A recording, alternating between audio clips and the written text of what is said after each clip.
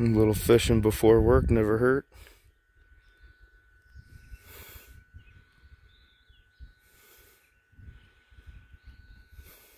Gorgeous.